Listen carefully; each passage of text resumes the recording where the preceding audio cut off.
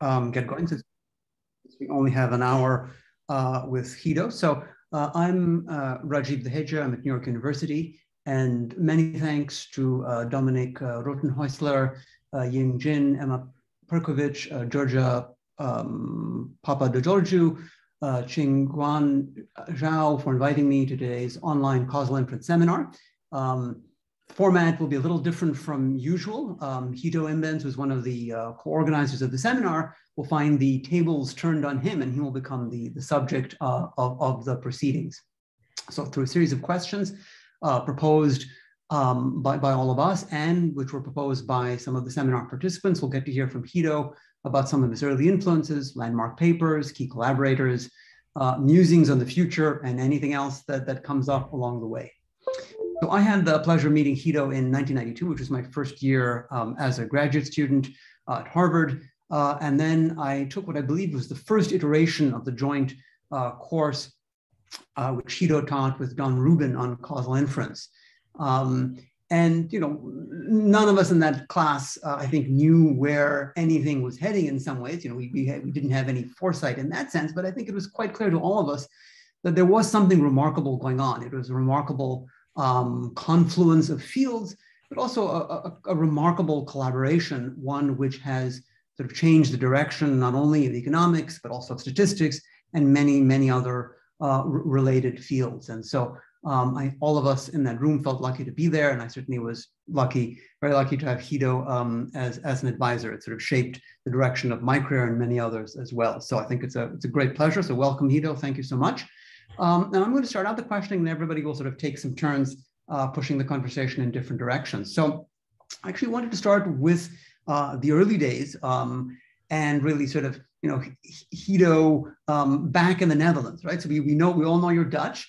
Um, but you know that has a specific significance in the world of economics and econometrics. You, you're now the third Dutch Nobel laureate in economics. Um, is there any sense in which there are some fingerprints of those early days in the direction your work took? Is there a sense in which you sort of feel that there's like a Dutch tradition in empirical work or econometrics that influenced you?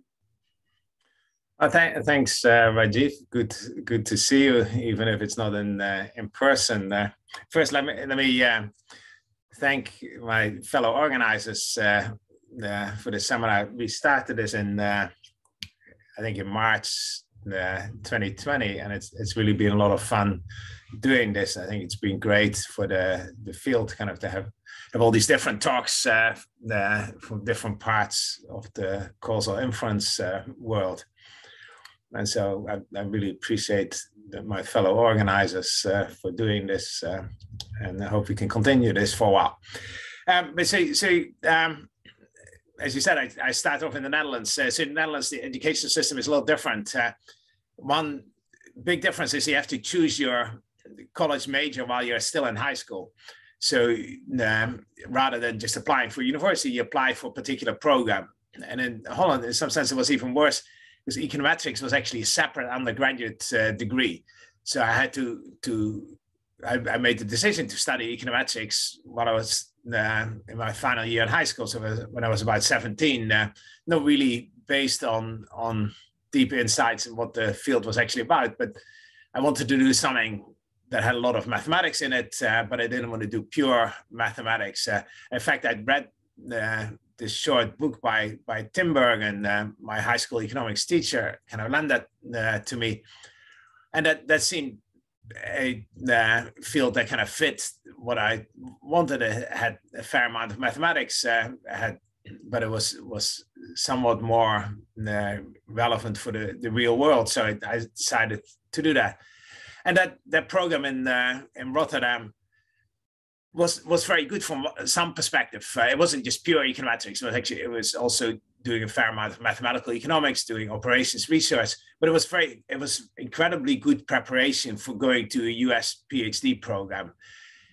The the one thing that was really missing was there was not really much of a focus on empirical work on actually applied economics uh, programs. And so for people who just did that degree, in some sense it was very narrow. We didn't really learn much uh, much economics um, at all. But the but in terms of, of getting us the statistics uh, and the, the econometrics background, it was uh, was particularly uh, useful. And I, I, got a lot out of that that program. And in some sense, I kind of I, I stuck with with econometrics with the the topics I started off with at that point my whole career. Interesting. So I think uh, one of the other questions is going to circle back to your, your switch to applied work, but let me just sort of continue the the, the, the narrative of, of, of Guido for, for one more chapter. Um, so, you know, you were in the Netherlands and then of course, um, you know, you ended up in Hull in a master's program, which at least on the face of it seems like an unusual choice. And then I also know, but maybe you can remind us a bit of this history, um, that, you know, Tony Lancaster became involved at that point and you ended up at Brown where he moved um, and so just thinking about sort of two pieces. One is like, you know, how did you sort of make those educational choices? Like you, know, you did this undergraduate, then you're ending, uh, ending up in Hull. And also think talking a little bit about Tony Lancaster. So I had the pleasure of meeting him many years ago, but is there a sense in which um, the way he thought about things um, influenced yeah, so, so, you worked on? So let me first kind of about the, the getting to Hull. There were kind of two things. Uh, when I was in Rotterdam, one there was there was this, actually this economist visiting from uh, from Rochester, um, and so as part of that visit, he he had to teach a course, and he was teaching this course on on this very esoteric uh, topic, uh, general equilibrium, which itself is, is, sort of you know is a big topic in the '60s in economics, uh, but had become a little esoteric. And then he was doing this, you know, general equilibrium is about how prices get determined, kind of in a in a market with lots of different products. And he was doing the whole course was about the setting where there were infinitely many goods and uh, so there were a couple of students showing up. The, the first class then it kind of soon most people left. And by the third class there was only me left uh, in the class and a couple of faculty who felt kind of obliged to show up for this this visitor. But so then, then i got talking to this guy uh, this professor marcus Berliant and uh, and he was like well you know you should actually think about doing a phd uh, thinking about going to, to graduate school. And I, I never really thought about that before, but that, that really got me thinking about it. And the second thing was um, the, Wilbert van der Klaauw, the friend of mine, also econometrician there, who's now at the New York Fed, read about this exchange program with uh, with the University of Hull. And so, kind of for no particular reason other than that, it seemed like an interesting thing to do. We we decided to go there uh, initially for a year with the idea of just coming back and finishing a degree. But then when we went to Hull, the, Tony Lancaster was there. He was very surprised. You know, he was an econometrician there. He never really had a lot of econometric students there, and suddenly these two students from uh, from the Netherlands who had a lot of background in econometrics already showed up. Uh, so he he got very excited about that. He was at the point of leaving for the US to go to to uh, Brown, and so he asked if we were interested in uh, doing a PhD, and both both Wilbert van der Klaauw and I decided that actually seemed like uh, an interesting idea again, rather than going back. So I never actually ended up finishing my degree in uh, in Rotterdam because we just went straight to Brown and then then uh, then did a PhD there. But again, kind of Tony Lancaster there while we were in Hull kind of really got both of us excited about doing a PhD and, and the fact you know, I'd never thought about this. I, I thought that would be something incredibly expensive, but it turns out that's actually feasible. There's there's lots of financial aid uh, possible, and, and so it just seemed uh, a very interesting idea. Again, not with the idea of staying there in the US forever, but uh, just as uh, as a uh, interesting experience. Excellent. So I'm going to hand it over to Dominik for the next question. Thank you. So uh, yeah, let's talk a little bit about uh, friends and uh, mentors. So yeah, some of your most influential papers have been written together with uh, Josh, Josh Angrist. Uh, last year, you shared part of the Nobel Prize with him on Wikipedia. If the information is correct, he was also a best man at, uh, at your wedding. So I just wanted to ask a bit about the, the story behind that. Can you tell a bit how you got to know each other, how you started collaborating?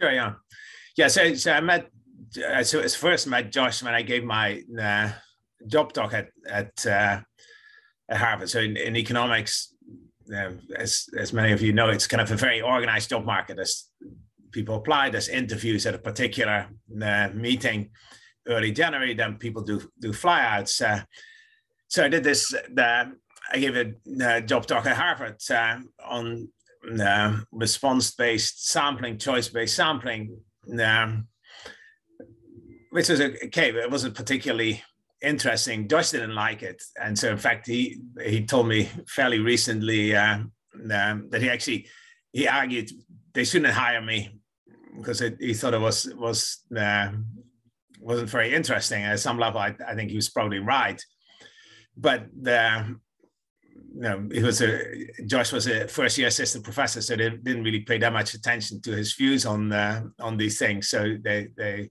uh, Gary Chamberlain was the senior econometrician there at the time.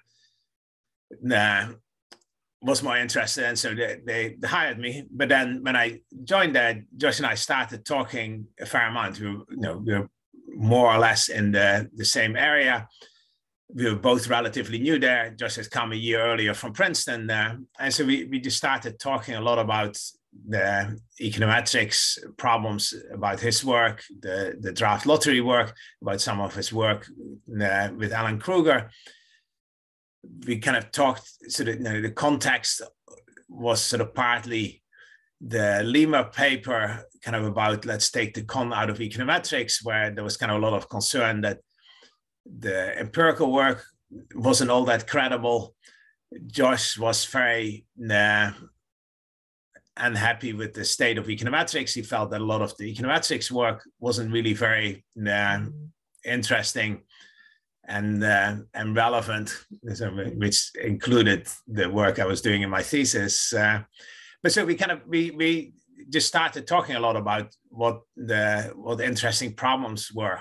And it's you know we were both living in Harvard housing uh, at the time. Harvard had a lot of apartments for junior faculty, uh, but they didn't they didn't come with laundry facilities, so we have to go to a laundromat kind of to to do the laundry, uh, and we'd spend Saturday morning there sitting waiting for the the laundry, kind of again talking about the what problems we thought were interesting.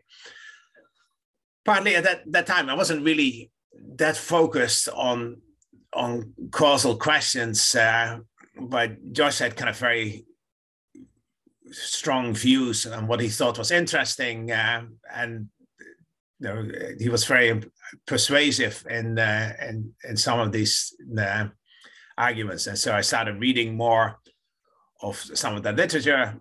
I looked more at uh, at the work Josh had done, and that's kind of where where we started uh, uh, think about uh, collaborating. And that, that's kind of in those conversations, we basically laid the groundwork kind of for the early papers, uh, including the the one on the on the local average treatment effect. And so then at the end of that first year, Josh actually left to take a position um, at the University of Jerusalem. Uh, but at that point, kind of, you know, we we figured out how to to work together. We talk very regularly. Uh, then we we continued doing that kind of through telephone calls, through emails. Actually, I, I went to Jerusalem uh, uh, for a couple of weeks at some point. Uh, he came back uh, at various points. Uh, but at that point, you know, I knew how he was thinking about particular problems. He knew how, how I was thinking. It's sort of clear we'd made some progress and, and kind of had become what seemed to us at least kind of a very exciting uh, set of problems to work on. Thanks. very interesting. So going from there, how did you find your way to the well now uh, very well used the potential outcome framework and uh, uh, Don Rubin? So uh, Don Rubin played a huge role in your life. With, yeah, no, no, that, that so so that had started kind of with with Josh. Josh had had um, some some uh, regular mail exchanges with with Don. Sort of, I think even when he was was at Harvard, they um, they exchanged various letters, um, and then when he went to Jerusalem, they they kept corresponding, uh, and so Josh had kind of shown me some of the the papers. Uh, so I we we were trying to kind of fit these things into the potential outcome framework because it seemed to us a very clever and useful way of avoiding some of the the modeling assumptions that people in economics were were used to making, and so we kind of uh, kept making progress on that, getting it closer to to to that framework. Uh, but during the first year, and, and I, hadn't actually met uh, Don. He was in the building uh, next to us. Kind of, we were in this uh, in building called Littauer Center, the science center where the statistics department was was uh, right next door. But I, would never actually uh, met him. But then at the point where we we had kind of the key result for the local average treatment effect, uh, I went over to to talk to to Don, and you know he listened very politely, more more politely than than maybe you uh, you would expect. Uh, but he didn't really show a huge amount of interest. Uh, but he was, you know, he listened. we talked for a while. but then a couple of weeks later, he actually called me and he said, "Well, he was at the the airport in Rome, and he was reading the the paper I'd given him, and he said, "Well." Actually i think you guys this is this is really interesting. You guys are really doing it all wrong but it's it's really interesting uh, and i want to talk more uh, about this and this this is really exciting. And so then we started talking very regularly kind of and uh, kind of we started uh, collaborating. We started a paper with uh, with josh uh, that came out in jasa. And don and i kind of wrote a couple more papers together there at some point he said, "Well, you know, we should teach a course on this." Uh, that led to the the course that uh, that Rajeev was talking about. Uh, I, I, think the, that was probably the first course, kind of solely devoted to causal inference, kind of uh, at least in observational studies. Uh, um, and that, that was that was very exciting. It was kind of funny. Uh, that, that was that was partly why it was was very good to be at Harvard Harvard was very flexible. I went to the chair in the economics department, said uh, I wanted to teach this course with someone in statistics. And chair was great. Sounds good. Just go ahead. The, the registrar's office had a little bit more uh, trouble with the, the course. We wrote this course description uh, and the, the spell checker there changed everything from causal to casual. So the, the whole course description uh, was a little uh, confusing.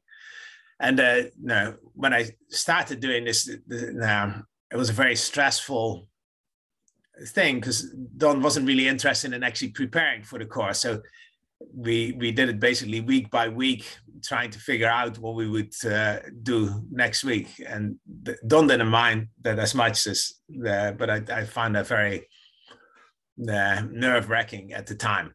But it, it, turned out to be a great course. And it, uh, lots of interesting work came out of that. Uh, the Rajeev's work with Sadek Wahba that got published in JASA later, with the, where they, they retrieved the Lalonde data from old tapes uh, and, and made this accessible. It's been a really influential paper. The, another student started this uh, lottery project uh, that I worked on with uh, with Don and, uh, and Bruce Sacerdote. Uh, so it just just turned out to be an incredibly interesting course. In fact, that we had we had a couple of guest lectures. We had one by by Chuck Manski. We had Judea Pearl give a guest lecture. And, so it, it turned out to be just an incredibly interesting uh, experience uh, and really one that affected not just the, the careers of the students, but really affected my my research uh, uh and career in a major way. Thanks for these very interesting anecdotes. I'm now handing over to Emma, who's going to ask the next question. Thank you. Hi, Guido. So we've already touched a little bit on some of your work, but throughout your career, you've uh, produced several very influential papers. So we were wondering a bit what was the process of working on those like? Is it was it different in any way from working on some papers that didn't end up being so influential? Did you know at the time that they would be so influential, or was that a surprise? Yeah, that's a, the, that's an interesting question. So for for the local average treatment effect paper, I do have very vivid memory, kind of of of getting to the the final piece there and uh, feeling that that was just really uh, a useful insight kind of and that was sort of i felt that was going to be as good as it gets in terms of of doing research. Now um, you know you have to put it in, in, in context sort of I felt I felt that was as good as it gets, kind of relative to the things I'd done before, and that sort of I I learned something doing that, and I was I was. Um, we were Josh and I were both just very pleased at that time. Uh, we felt there was there really was a clear result there, something that we didn't didn't know, and we'd been thinking, you know, exposed. It kind of seems like a very uh, simple result, but it took us a long time to get there because we were setting the problem up in a very different way initially that that wasn't really uh, working. So there, there, that that is one of the few times where I felt at the time that yes, actually, you know, that that was that was a useful uh, uh, insight, and you know, I've, that that does happen occasionally it doesn't happen very often. Uh, kind of often papers start off much more uh, open-ended, and it's it's much more of a gradual uh, uh, thing. But that, that was one of the few times where I, where there was really a point where I said, okay, yeah, now here we have we have a we have a clear insight, uh, and you know whether that's going to be influential or not.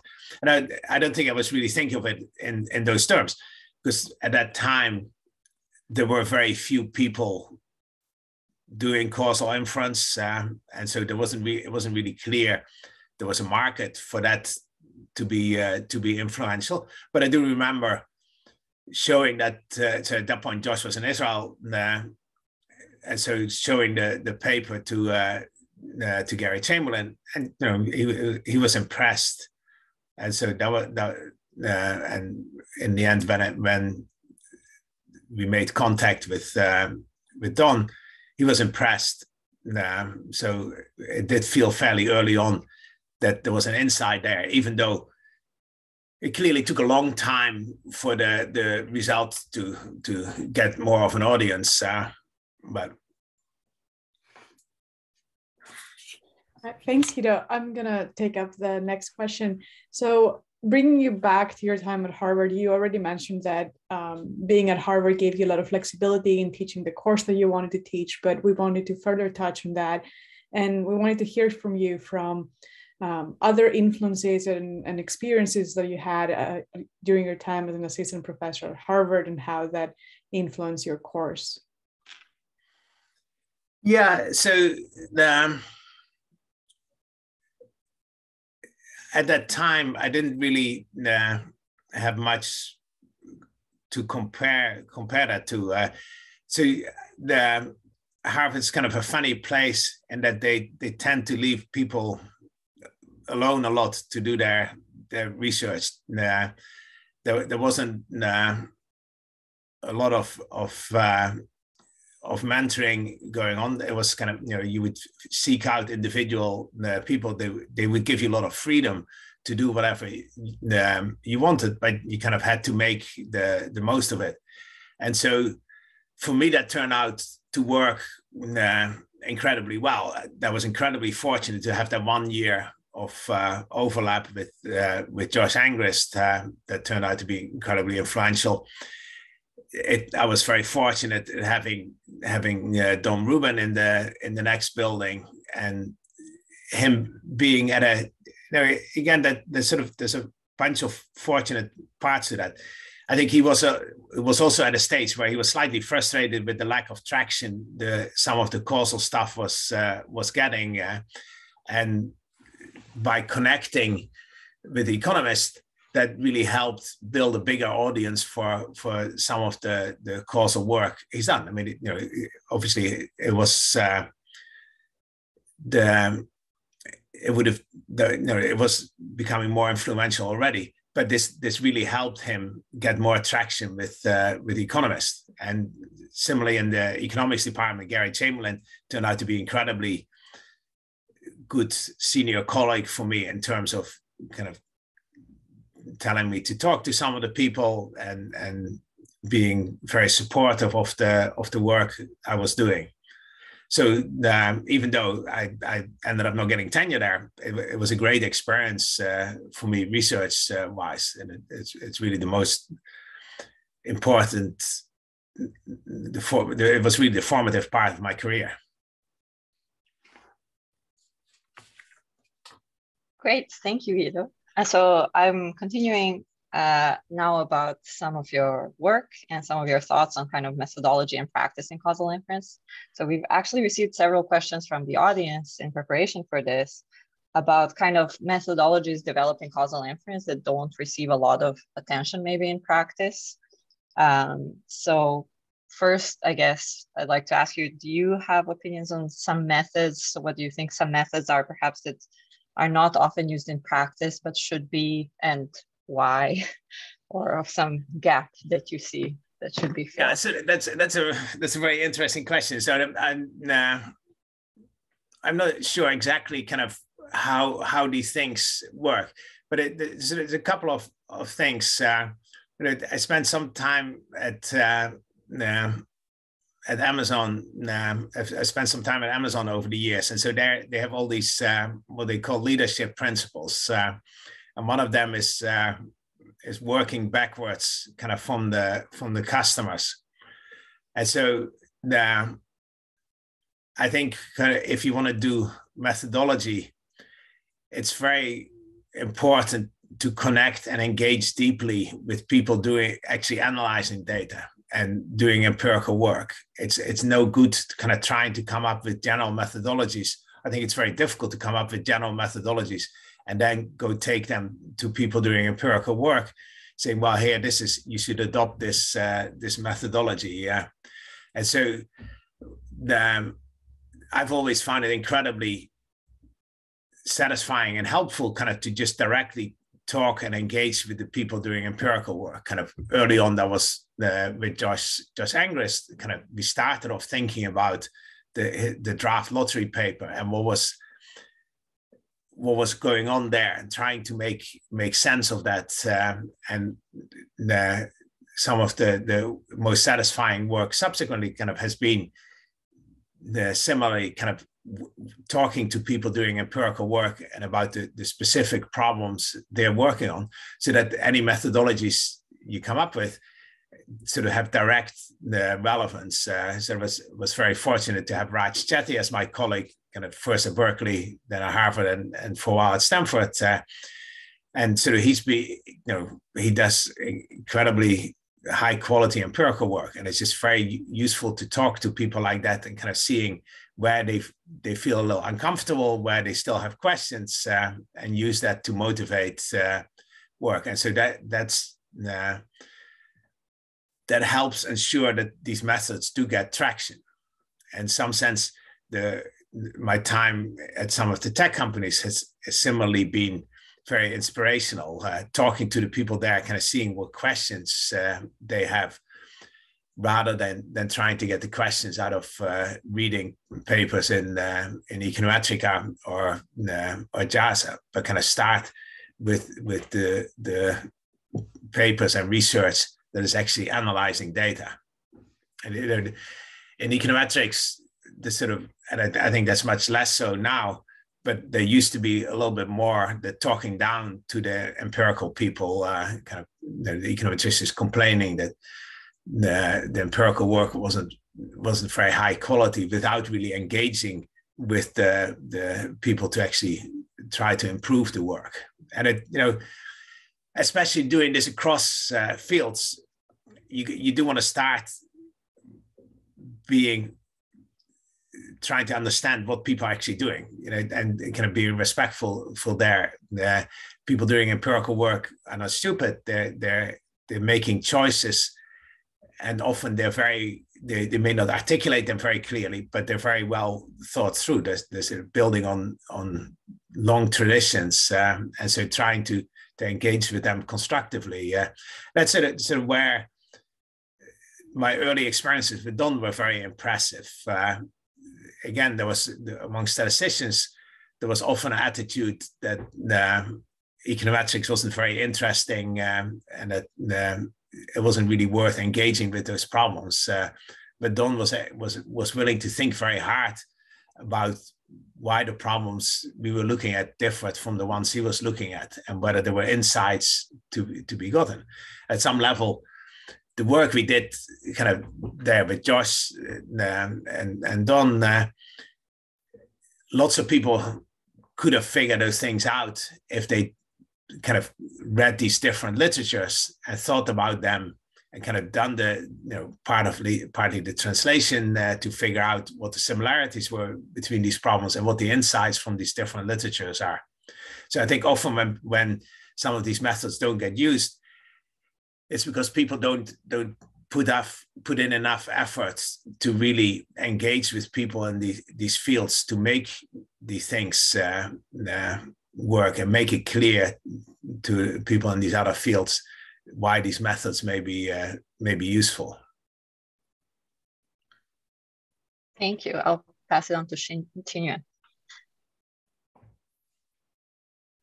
Uh, is uh, Guido. So this is a questions about sensitivity analysis. So uh, you have a article back in 2003 um, uh, in the American Economic Review that proposed a very popular method for sensitivity analysis but that doesn't seem to be the uh, a, a, general case for, for this field. It seems that sensitivity analysis is one of those uh, areas where everyone says we should uh, uh do a sensitivity analysis, but it's really done in practice.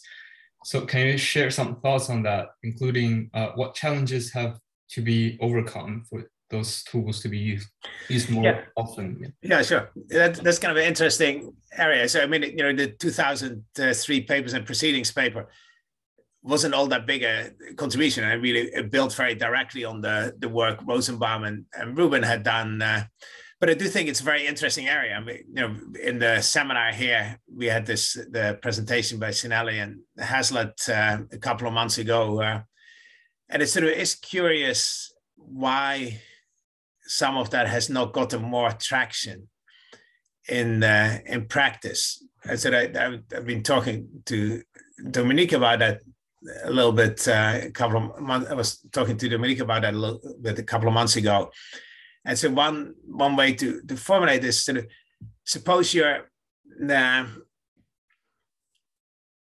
um, you're analyzing data and you have to present the results to a decision maker. Someone's going to decide actually to to implement an intervention or not. So this, it's fairly clear that the first things you would report are some estimate of the average effect of the, the intervention and some, some measure of the uncertainty, standard error. And so the, um, it seems very curious that we that there is a huge amount of agreement what the first two numbers are that we should report. But now suppose that the decision maker actually says, well, you know, I'm no stupid. I can, I don't want to see the whole data set, but I want to know a little bit more.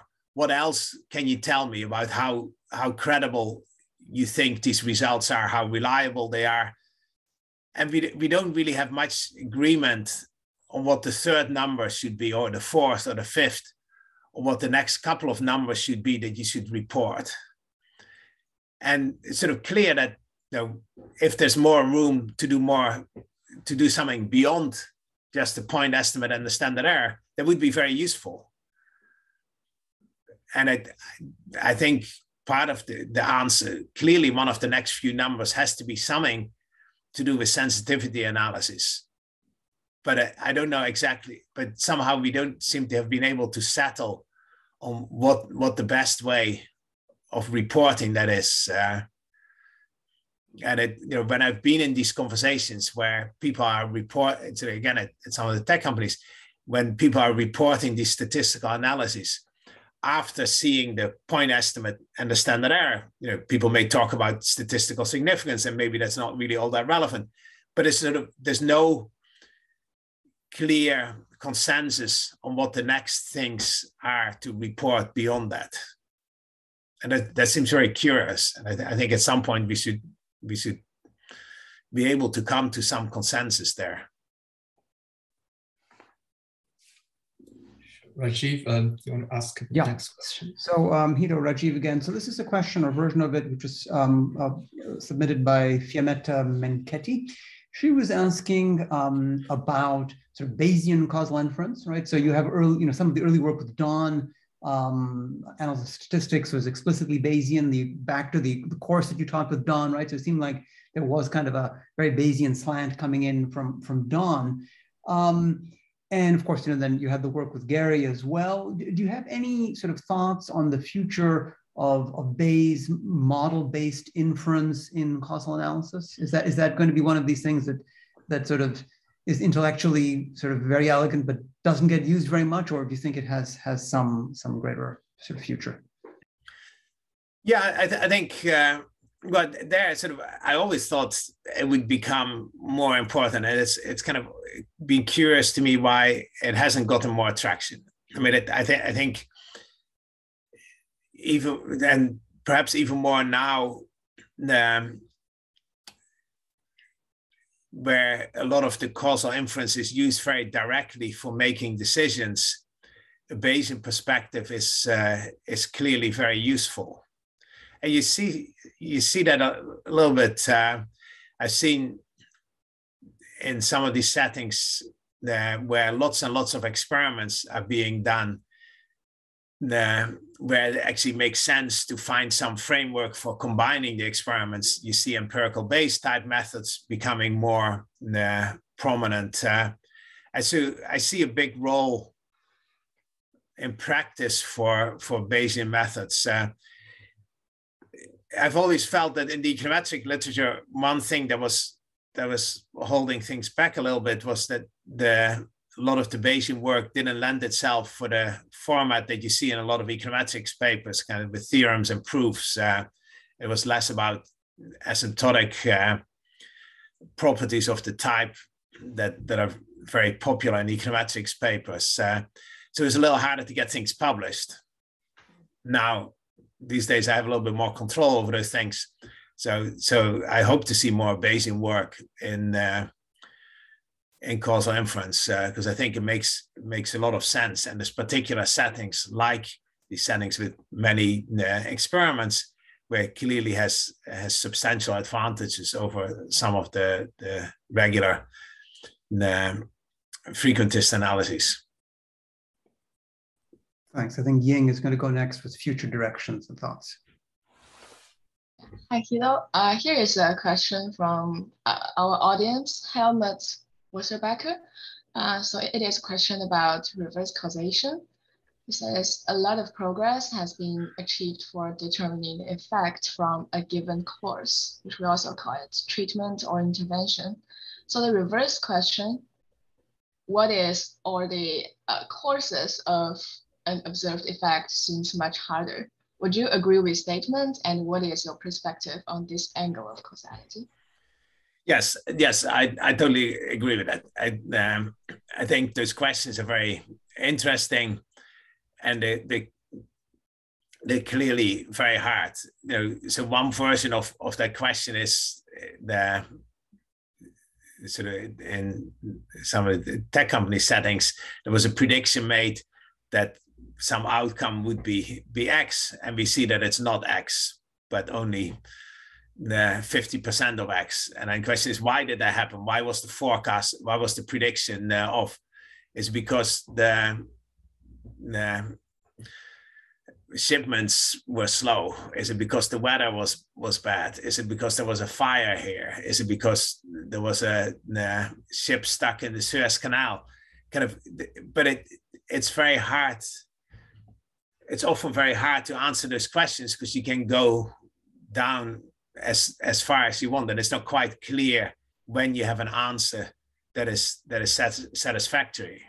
Sort of i at some point i, I uh, andrew gelman and i spent some time thinking about it and we have we have this half finished paper the on reverse causality but we never really finished it because partly we weren't quite satisfied with where we've gotten to and it wasn't quite clear how to to finish that. But I, th- think I think it's a very important uh, set of questions, um, and we need to find better ways of uh, of answering those questions. But it, it's kind of one of these areas where I think it's very interesting, but I'm not quite sure exactly how uh, what direction we're going to get more satisfactory solutions. Uh, if if we one way of doing it is is by starting off by just listing all the potential answers that are, that are there, but it doesn't seem very very satisfactory because then it's it goes back to really answering just a whole bunch of forward causal questions. Uh, and I, uh, so I don't I don't quite know how how to get to a good answer there. Um, okay, uh, so next question is about uh, different frameworks um, of causal, causal inference. So in a recent paper, um, you compared the potential outcome and graphical approaches to causality and their relative merits for economics. Obviously, this debate has lasted for many years, not only in economics, but in many other uh, scientific disciplines. A similarly related wrangling in economics is reduced form versus structural models. So do you have any further thoughts on these contrasting approaches that you'd like to share with us here? Yeah, you know, the, this is a tricky question. So no matter what I say, I'm going to get into trouble uh, here. So, um, yeah, so I, I, I wrote that paper uh, because I thought it was important for economists to get more exposure to these uh, these graphical models. Uh, and so, you know, uh, I actually looked up that that paper yesterday to to make sure I quoted it right. So it's somewhere I wrote that I highly recommend the Book of Why and the more technical and comprehensive 2000 book for anyone who's interested in causal inference and statistics. And that should include pretty much anyone doing empirical work in social sciences these days. So, but I, I think I think that the the graphical the uh, structural causal model approach is very important, uh, and people should should uh, read that literature uh, very carefully. Uh, the the part kind of uh, where I was a little more more skeptical was the the view that it's kind of this is the only way of thinking about uh, causal questions. I think there's kind of lots of parts of the what I view as part of the causal literature where the graphical models don't really uh, help very much. Uh, there's a big literature on regression discontinuity. Uh, where I've not seen um, a lot of insights coming from uh, from that. And similarly with the synthetic control um, literature. So th I think the graphical models are very good, first of all, at visualizing a lot of the, the assumptions. And second, um, the, the, the mathematical framework associated with it is very good at establishing identification in a particular class of uh, of models, um, and so that um, that's very helpful for for lots of problems. Now, similarly, kind of with the debate between reduced form and, uh, structural modeling, uh, kind of as I uh, mentioned before, the starting point for for kind of Josh and to some extent David Card there as well, was this uh, the state of the literature in the 1980s, where people in economics had articulated a lot of unease with the the state, the credibility of empirical work, and so um, in the the lectures we gave last uh, last month, all three of us mentioned these two papers by one by Ed Leamer, Let's Take the Con Out of Econometrics, and the Lalonde paper.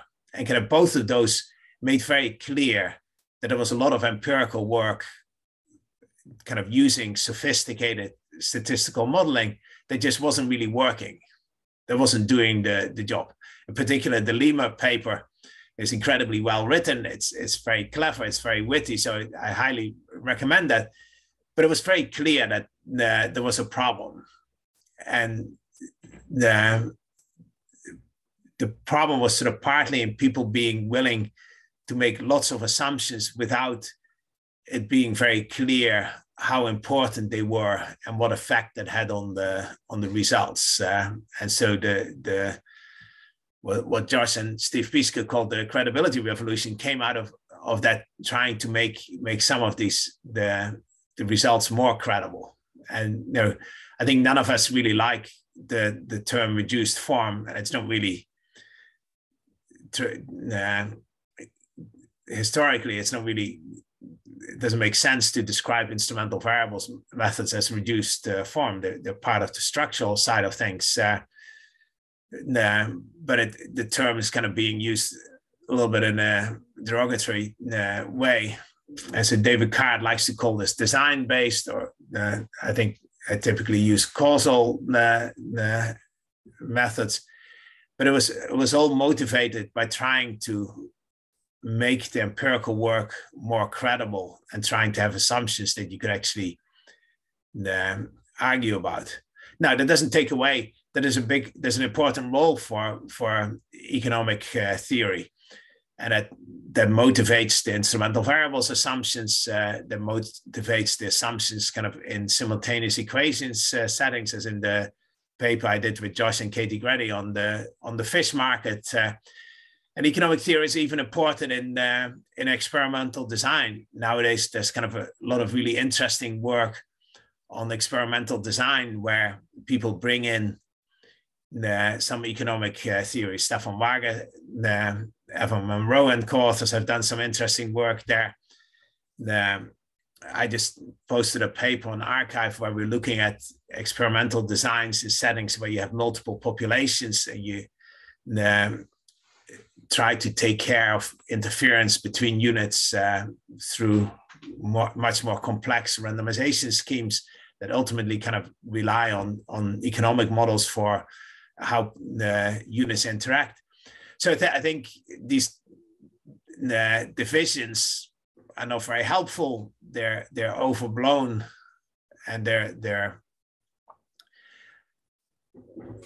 obscuring the fact that really what it's all about is trying to get credible uh, and robust uh, inferences uh, for what are often causal questions. Thanks. So we have another question uh, by a member of the audience, Fiammetta Menchetti. So um, I really like this question, so I look forward to your answer. So the, the global pandemic has had the central role of scientific research. At the same time, the drift towards anti-science is present and dangerous as never before. Do you think this is a temporary effect of the pandemic crisis, or is it a major concern in the future? And how do you think the scientific community can lead with this major issue? Yeah, no, that's a very that's a very hard question. I mean, I I do worry that that some of this is uh, more longer term. So, so it, and it's you know it, it's clearly not just in the the U.S., but it's in other countries as well. If I you know if I look at the the Netherlands, there there's also a lot of uh, debate and opposition to various government policies trying to deal with the, the pandemic. And if you compare that to earlier episodes where there were vaccine policies for polio where there were um, government mandated safety rules about wearing helmets on, uh, on motorbikes, in the earlier days, it was very rare to see kind of very organized opposition to these uh, these policies, um, and and nowadays it seems very easy for for people um, who oppose these measures to try to actually organize more systematic uh, opposition to these uh, these things. And I'm not sure, I'm not quite sure how how we're going to get out of uh, of these things. It sort of it seems clear to me in the case of the pandemic that we may disagree on uh, what particular policies are helpful, whether we should be wearing masks here or there or everywhere, when people exactly should get uh, get uh, vaccinated, and which groups should be get vaccinated and in what order. We can disagree on these specific policies, but it, it does seem clear to me that we need to agree on a process for making these decisions and then stick with it because we can't have everybody making their own decisions because for infectious diseases that doesn't really work there's externalities uh, and so we need to somehow delegate the decision making uh, process and we don't you know we seem to have a hard time letting the the science uh, be helpful there it's sort of clear when these questions are hard when there's not immediate consensus in the scientific community, it's going to be very easy for people to pick and choose and then argue that that science is on their side. Um, but how we deal with that, I think, um, I think that's a that's a big uh, challenge. Know, at the point where the science isn't completely clear, we may still need to make decisions that some people are unhappy with. and so the, we need to find a way of, uh, of letting the science be clear on what we know and what the uncertainty is there, but then be able to get to some consensus on what how to actually move forward.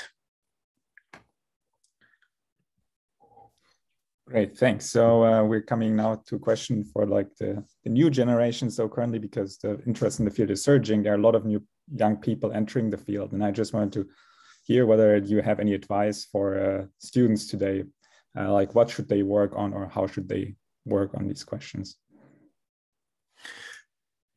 Yeah, so um, that, that's another tricky question. So, for my own experience, um, well, so so I think I think causal inference now is in a in a great state. When I was working on on some of these problems in the early '90s, uh, it was in some sense a very lonely uh, field. There were a couple of people, but they were they were all very spread out, uh, and I was interacting with them wasn't always um, easy. I was very fortunate, kind of the having Josh and uh, and Don at Harvard at the same time there. Uh, but now clearly it's it's a field that's doing incredibly well. We have there's lots of conferences. There's this new society that's been being uh, formed, and it's what is incredibly nice is that it's it's so interdisciplinary and there is these problems and methods coming in from all these uh, these different uh, areas. And so, what I would encourage people is kind of to to listen to the people doing doing empirical work, actually analyzing the data and kind of seeing what what types of problems they're working on, where they may be stuck, or where there may be things that are uh, that are possible to to improve. One of the things I'm working on at the moment uh, with a student, uh, David Ritzwaller here at, at Stanford, was inspired by um, actually the interview Esther Duflo did uh, in this seminar uh, year and a half ago, when she talked about the what to do if you have lots of different outcomes. Uh, so you suppose uh, you do a particular experiment, you may be interested in uh, one or two outcomes, but you have the ability to observe lots of different uh, outcomes. Uh, what should you do with those? What role do they they play? And one one concern that came up was that in fact they could make things worse because now you have to adjust for multiple testing rather than kind of look at all these these different outcomes. But at the same time, you see in practice that that's what people do. When I see some of the experiments that uh, the, the tech companies do, they often observe, they often record lots of different outcomes. So what's what's really the role of that? Uh, how does that change the way you're making uh, decisions? Uh, and so having these, having questions like that that come up in conversations and, uh, and seminars from from people who are actually working in the trenches, who are actually analyzing this data and collecting this data, I think is a great way to uh, get inspired and doing doing more things. As sort of a general area, I think um, experimental design. There's a lot of interesting things happening in experimental design. I think there's a lot of interesting questions about combining observational and experimental data. You can kind of think of experiment of experiments as helping you analyze answer very specific questions very well. But there's lots more questions we're interested in, and we're not going to be able to do separate experiments for all these different things. So how could we design experiments to make make them as useful as possible for answering general questions uh, uh, beyond just the simple, uh, beyond the direct decision that may motivate them. And I, I think there's also much more to be done on settings with with complex uh, patterns of interference between units, and that's that's one of the places where having theory, having various theories, various theories of uh, of human behavior is going to be helpful uh, for thinking through what restrictions to put on uh, on on these patterns of uh, interference. All right. Wonderful. So actually, to kind of put you on the spot at the end, we received some questions in the Q&A and we thought we'd finish up with one of those. So I'll read the question from Richard Burke. so any ideas about how to get from the results of a single study to what we really want to know about how the intervention will perform if subsequently implemented? Yes, uh, thanks, uh, Richard. That's, um, that's, a great question. So, in some sense, the way I think about that is um, a little bit along the lines of the, the end of the, the answer to the last question. So, the, um, we're interested in, in a whole bunch of possible uh, interventions and changes in the in the environment and we're interested in the effects kind of on on long-term outcomes uh, and things we don't directly measure and so what the experiments can help us by answer, answering very specific questions. But what you really need to build is kind of a framework that you can put all the answers for these different uh, for these different questions in together so that you can actually exploit the fact that the previous experiment answered this question and now this experiment tells you about another part of the, the problem. And so you may may want to build some big structural model. You may want to build some big graphical model. Uh, you want to have some structure that you can put these things in together and that tell you which particular experiments would be helpful for the, the for answering the the bigger questions beyond the, the direct questions that these experiments are going to answer. The experiments are going to be incredibly good at answering these, these very narrow questions uh, very well. But in many cases, we do need to use multiple experiments to then build up to an answer for, for a more complex uh, uh question. Because the validating things there is uh, is going to be very tricky. And so I think there's still going to be lots of questions about how to actually uh, do that in practice and how to do that in a, in a credible way. But I think, I think those are very interesting challenges. All right, thank you so much. So uh, now we're getting to the like to the final question. And I know that this is a question that uh, some people in the panel from the panel here are waiting for. So this is a question about your chickens. So some people might know it. You have a chicken coop in your in your backyard. So the question that we have is, has this chicken coop influenced your research? Uh, what's the story behind that? Uh, have you conducted some experiments or observational study on them? All right.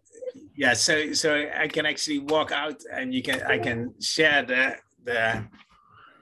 Um, I can show off the chickens, but so in terms of the the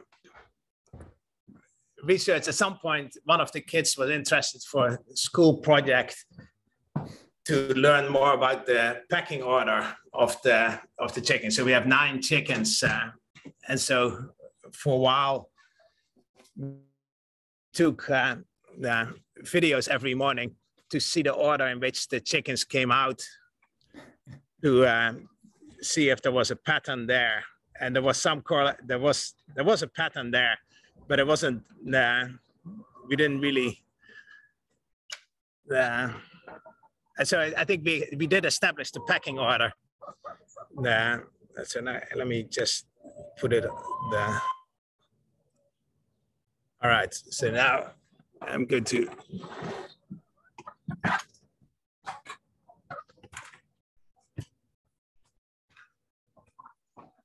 Oops. Beautiful. All right, so there they're coming out. So, so what are the names? Um, this is Suits, the oops, the the white and black one here, uh-huh. and there that's Viola, the one we could actually uh, caught by a a coyote, but survived and then um, there's Jack and Corey and a couple more. All right, let me get the video back. Uh... Beautiful, beautiful. Thank you so much. All right, yeah, thank you so much, Guido. This was uh, absolutely fantastic. Also, thank you so much, uh, Rajeev, uh, for uh, for helping us uh, collect the questions, also conducting the interview. Uh, yeah, thank you everyone for for joining. So next week, we're going to have Sach Mukherjee from Cambridge, who will talk about machine learning approach for causal structure estimation in high dimensions. Thank you all for joining. Hope you have a great week and yeah, see you next time. Thank you, everyone. It was a pleasure. Bye. All right, great to see everybody.